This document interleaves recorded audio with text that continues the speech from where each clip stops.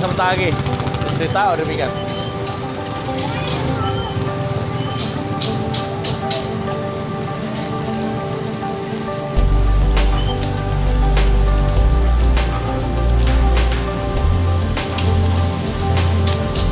Goldilocks di Masalah Palawan